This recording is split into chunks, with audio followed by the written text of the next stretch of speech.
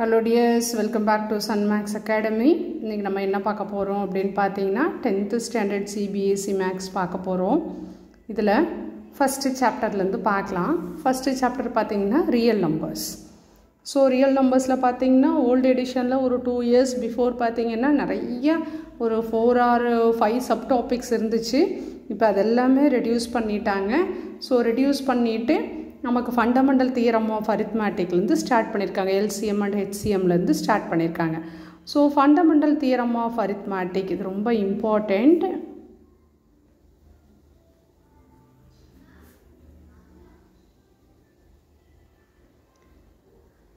ஆக்சுவலாக இந்த கான்செப்ட் வந்து நல்லா படித்து வச்சுக்கோங்க. ஃபண்டமெண்டல் தியரம் ஆஃப் அரித்மேட்டிக்னா என்ன அப்படின்னு சொல்லிட்டு. ஸோ இந்த தீரம் நமக்கு என்ன சொல்லுது அப்படின்னு பார்த்தீங்கன்னா every composite number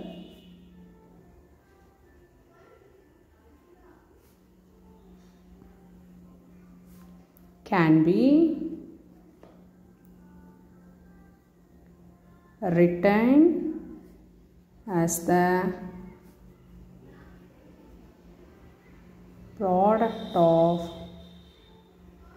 powers of primes. இதை தான் இந்த தீரம் சொல்லுது. அதாவது காம்போசிட் நம்பர் ப்ரைம் நம்பர்னால் என்னன்னு தெரியும் இல்லைங்களா? ப்ரைம் நம்பர் அப்படிங்கிறது ரெண்டே ரெண்டு ஃபேக்டர் தான் இருக்கும். அதாவது அந்த நம்பர் வந்து ரெண்டே ரெண்டு டேபிளில் தான் வரும். ஒன்று வந்து ஃபஸ்ட்டு ஃபஸ்ட்டு டேபிள் இன்னொன்று வந்து அதே நம்பரோட டேபிள் காம்போசிட் நம்பர் அப்படிங்கிறது மோர் தென் டூ ஃபேக்டர்ஸ் இருக்கிறத நம்ம காம்போசிட் நம்பர் அப்படின்னு சொல்லி சொல்லுவோம். ப்ரைம் நம்பர் அப்படிங்கிறது ஒன்லி டூ ஃபேக்டர்ஸ் மட்டும்தான் இருக்கும். அதாவது அந்த நம்பருக்கு ரெண்டே ரெண்டு ஃபேக்டர் தான் இருக்கும். என்ன ரெண்டு ஃபேக்டர் அப்படின்னு பார்த்தீங்கன்னா ஒன் ஒன்று அதே நம்பர் ஒன்று அண்ட் காம்போசிட் நம்பர் பார்த்தீங்க அப்படின்னா மோர் தென் டூ ஃபேக்டர்ஸ் இருக்கும். அப்படி இருக்கக்கூடிய காம்போசிட் நம்பரை நம்ம எப்படி எழுதலாம் அப்படின்னு பார்த்தீங்கன்னா ப்ரைம் நம்பர்ஸோட ப்ராடக்ட் அதாவது பவர்ஸ் ஆஃப் ப்ரைமோட ப்ராடக்டில் எழுதலாம் அப்படின்னு சொல்கிறாங்க இதுதான் ஃபண்டமெண்டல் தியரம் ஆஃப் அரித்மேட்டிக் இந்த கான்செப்ட் நல்லா படித்து வச்சுக்கோங்க. மேக்ஸிமம் ஒன் மார்க்ஸ்ல எல்லாம் கேட்பாங்க. சரிங்களா? ஸோ இது நல்லா படித்து வச்சுக்கோங்க. ஓகே இப்போ ஃபஸ்ட்டு எக்ஸாம்பிள் பார்க்கலாம். நீங்கள் லாஸ்ட் இயர் ஹெச்சிஎஃப் எல்சிஎம் எல்லாம் படிச்சிருப்பீங்க இல்லையா?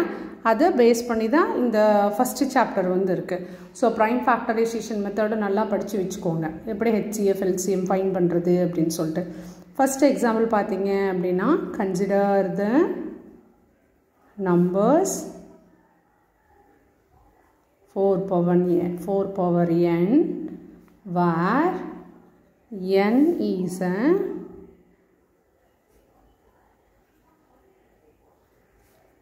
natural number. Check whether there is any value of n for which 4 power n ends with the digit 0. Right so என்ன சொல்கிறாங்க அப்படின்னு பார்த்தீங்கன்னா ஃபோர் பவர் என் அப்படிங்கிற ஒரு நம்பர் இருக்குது அதில் இந்த பவரில் என் இருக்கு இல்லையா? அந்த எண் வந்து நேச்சுரல் நம்பர் அப்படின்னு சொல்கிறாங்க நம்ம என்ன செக் பண்ணணும் அப்படின்னு பார்த்தீங்கன்னா எண்ணுக்கு நீங்கள் எந்த வேல்யூ சப்ஸ்டியூட் பண்ணால் ஃபோர் பவர் என் எண்ணுக்கு ஏதாவது ஒரு வேல்யூ சப்ஸ்டியூட் பண்ணால் அதுக்கு ஒரு ஆன்சர் கிடைக்கும் இல்லையா?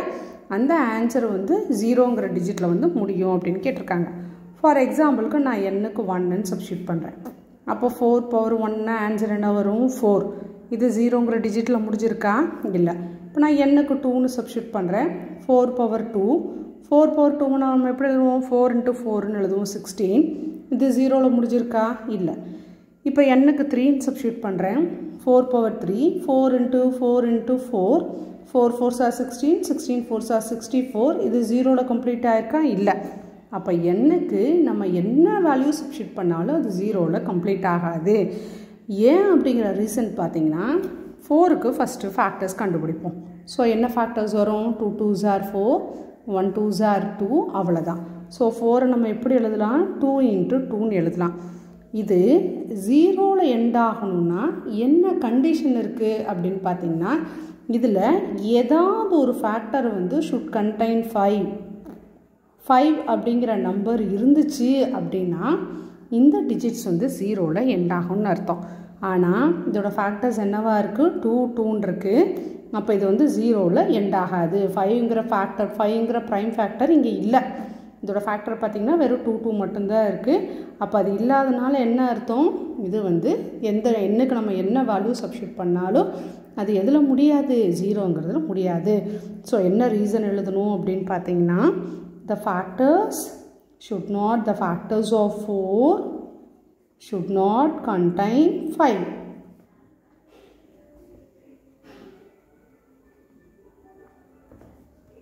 so it is not ended with 0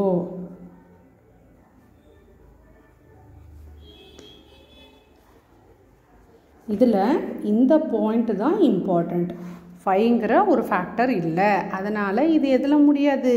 ஜீரோவில் வந்து கம்ப்ளீட் ஆகாது அப்படிங்கிற இந்த பாயிண்ட் தான் இங்கே இம்பார்ட்டண்ட் ஓகேங்களா இந்த வீடியோ உங்களுக்கு பிடிச்சிருந்தா சப்ஸ்கிரைப் பண்ணுங்கள் லைக் பண்ணுங்கள் ஏதாவது டவுட் இருந்தால் கமெண்ட்ஸில் வந்து கேளுங்கள் அடுத்த எக்ஸாம்பிள் நெக்ஸ்ட் வீடியோவில் பார்க்கலாம். Thank you tears